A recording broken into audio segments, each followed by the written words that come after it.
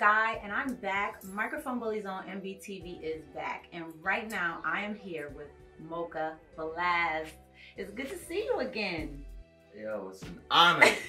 I feel blessed to be around y'all. MBTV. What's good? Talk That's to me. what's up. It's been a minute. It's been a minute, right? Like two years. Yeah, yeah. So we, you know, we had to get back up with you. We had to catch up, find out what what you got going on. You are so busy. I don't even know where to start, but we're gonna start. All right. What have you been up to? What's going on? How you feeling? Ah, I feel great. Um, very lively. Um, I'm about to head to Europe tomorrow. Oh my god. I'm going for like three months straight. Nice. Got to make a, lot of power moves. Really concerning the compound. I'm building a compound studio out of Vegas. Right. Two stories, four studios, sleeping quarters. Nice. I want to put like six to eight rooms that you could come in, soundproof, and just chill. Then I want to build a basketball court on the second floor. Four Okay, wait a minute, wait a minute. Slow down. Let's let's start from the beginning. Okay. So you're building a compound. Yeah, So this is gonna be like a multimedia compound where it, there's gonna be so much going on. everything. Okay. Everything multimedia. What what made you come up with the concept first of all for this compound? Simple. I have a lot of, you know, people in the industry, just like MBTV. I got my boy Philly Fly Boy. I got um guys that shoot, you know, photography. I got different engineers. Right. And every time they come to my recording studio in Vegas, hey Mo, do you know somebody who does this or who does that? Yeah. Yo, is there a basketball court around here? Yeah. Yo, which hotel or Airbnb I could get? I'm like, whoa, hold on. If there's a, a demand for something and nobody's actually, you know, doing anything to fulfill that demand, Right. I'm gonna take it on. It's gonna be tough because the last time I sat down with y'all, I was talking about building a, a barbershop, the Two Right. Handsome franchise. Yes. I got the TVs in the floor. Okay. I got the baby grand piano.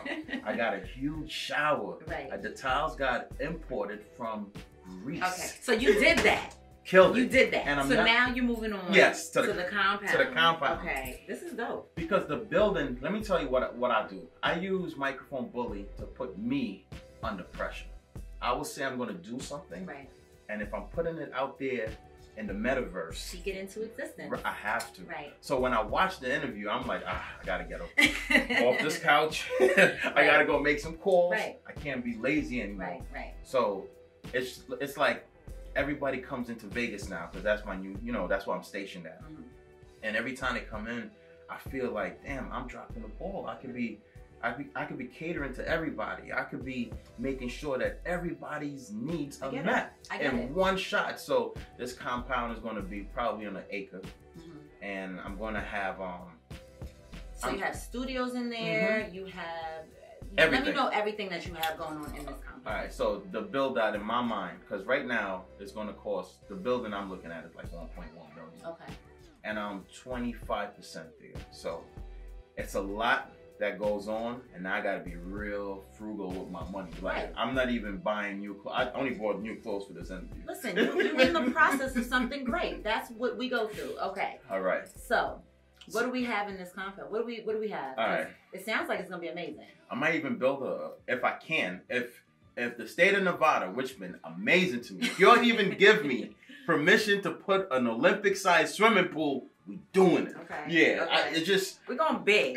We're going got, big. you got to. It's gonna have the infinity wall or the white cyclorama. okay. I need that. I need the access. So any car that you could pull in, you pull in. Right. I want artists to feel like, you know what? This is home. I want Yeah. the labels to say, yeah, we could leave them at Forever Getting Cash. Right. They're gonna come back completed. I want to be that, you know, it's like a juxtaposition. There's the artist, there's the label, Right. and then there's that middle space. Right. Where it caters to all. That's it. I get it. It sounds dope. It sounds really dope. Absolutely. Okay. So, and as far as the compound, I know you're also doing a lot of big things. Like you said, you're going to Europe Definitely. tomorrow, Yeah. but you're also going to be doing a lot of touring. You recently signed a new artist from Yonkers, New York, Mm-hmm. Little Rory Bird. little Rari Skrt. Little Rari Skrt. Okay, and talk to us about how that was signing him, deciding to make that move, and then taking him to the next level. All right, well, it goes back to like 2007, 2008 when um I first met up with D Block. Big shouts to Poobs, Jada, Styles, and Sheek. And um, those boys took me under their wing. Like I used to go to D Block Studio all the time, and I'll sit down with Poobs numerous days, Right. nights, and he will school me. And then Jada will come in, Right. and Jada will, be, will have me sit outside. Then Styles P, the Ghost. I figured out why they called him the Ghost. And the first time, remember, I'm from Queens, Right. so I was jacking like the G Unit, but you know, G Unit was like blown up so big that I was like, you know what? Let me get him where I fit in. And Jada been my favorite rapper of all times. Like I, Jada's dope. yeah, Jada's been my Mhm. favorite rapper of all time. So I said, you know what? Let me make the move to Yonkers. So I came to Yonkers, and the fact that D Block looked out for me, like they they reprogrammed everything I knew about the music, but Wow. the business. Right. They showed me the business. So I'm here and I'm picking up stuff from Jada, picking up stuff from Style. Sheek is like really the businessman. Sheek is the one who like A lot of people don't know that. Yeah. Sheek is like all business. Yeah. Yeah. I mean, they see his size, they get intimidated, Mhm, but mhm. and then Poobs is like the quiet assassin. yeah. So they gave me an opportunity. They even said, "Mo, we can sign you, but So- you're more like an LL Cool J type. Right. So if we sign you, it might hurt your career."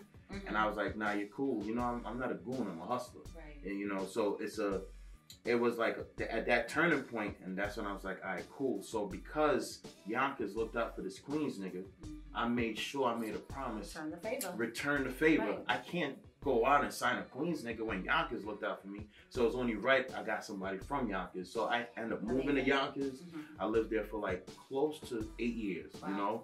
I stayed on Central Ave on, Yes. on the other side of Mhm. Yonkers, you know what I'm saying? Because Yonkers a little too, Yes. a little too hectic. a little, a I'm from too- Yonkers. I should know. right. Uh, and I'm from South Jamaica, Queens, so I don't want to leave a war zone to go to another war zone. Right. Yeah. Know, yeah. It doesn't make sense. Yeah. So yeah. signing Lil Rari Skrt, I actually watch him. I watched the process of him growing up from an adolescent to a young man, teenager to who he is today. Okay. You know, a young adult. Mhm.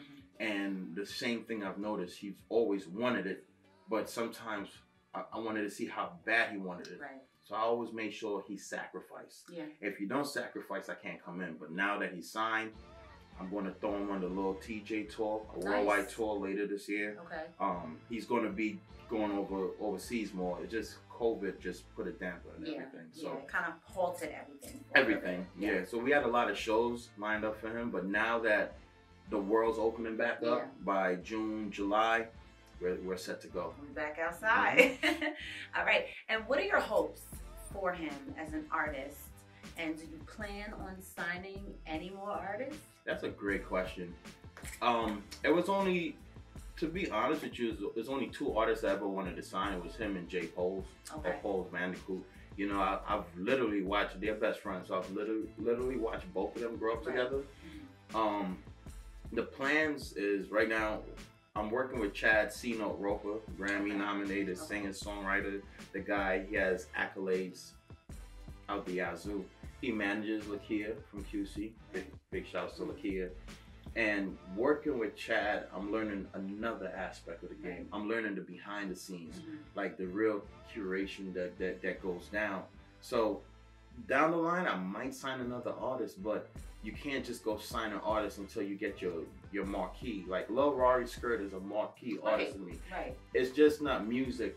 Me and him have a brotherhood Mhm. it's personal. It's making Deeper. yeah, it's, it's It's deeper. deeper. Like, you know, um, once he transfers his license and stuff, I'm gonna pick him up a BMW M5. Ow, nice little gift. You know what I'm saying? Yeah. Um, I just made sure I went out and got his chain. It's a twenty thousand dollar chain. VVS's big shout to Ori the jeweler.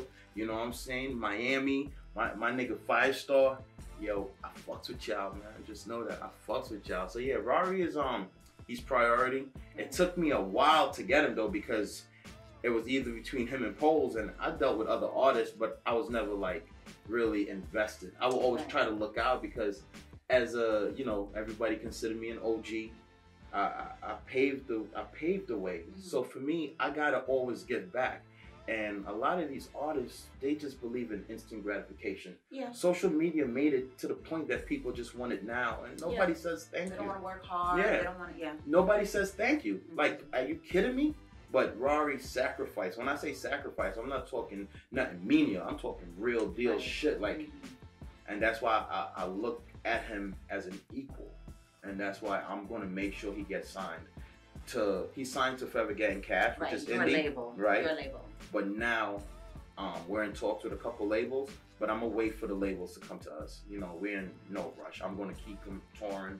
We're gonna launch his merchandise. We already just did his EPK, which is EPK-LilRariSkirt.com. You can check him out through there. And um, I'm working on getting him verified. So no later than next month he'll be verified on Instagram, and then I'm gonna just jack up his feature price and everything. It looks like you're providing a great look for him. He looks like he has a great future, and we wish him all the best because we just spoke with him, so he really is. He seems like a great kid.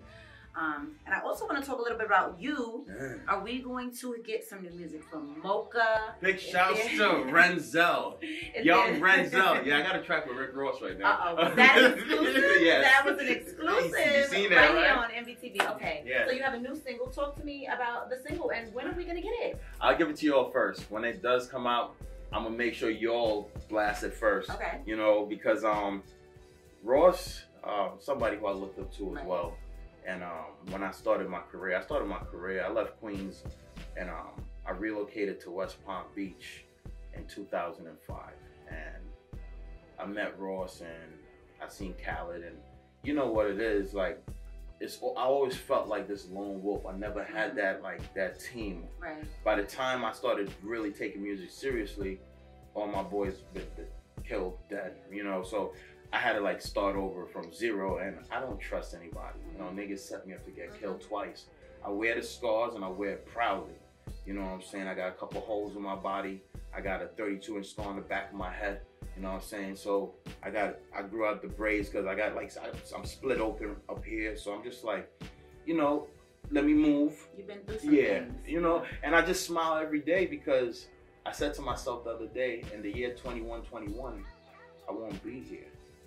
So what is there to really bitch about in Mhm. life? And I live in the best country in the world. So I always kept tabs on Ross and I, I watched him work and I was like, you know, one day and all my young boys be like, yo, you and Ross on a track together, Mo, will be crazy. Yeah, so definitely. Big shouts to my homie Dayon. Dayon put me in touch with Slab MMG, which is Ross's right hand man, and you know Ross invited me to his crib. Yeah. You know, went out to the mansion, and Nice. I was, you know, that was all the motivation. That happened March 2021, Okay. and that was all the motivation I needed. When you're going to somebody who you, you know, is like your constituent, somebody who they compare you to, and you see how he's living. Right. So could you imagine the sacrifices he put in? Yeah. So I'm here thinking, oh, I'm working hard. Negative. Mhm. I had to get up off my ass and put that ego that I had thinking, yeah, I'm doing shit. Because you're going into somebody's crib and you're like, hmm, so this is what 100 acres look like. right, right. Yeah, we saw Ross's crib and Coming to America too, so we know what's going on there. you know, so That's dope. We definitely support Ross over here on MBTV. He has definitely, you know, done a couple things for us. So we are definitely looking forward to the track that you have. And anything else? Any other surprises? What else can we expect from Moka Blast? no, I got a, I got a lot.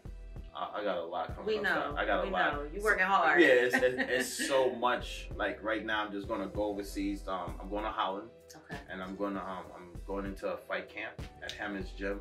Wow. Yeah. Okay. Left turn. More things. Okay. Yeah.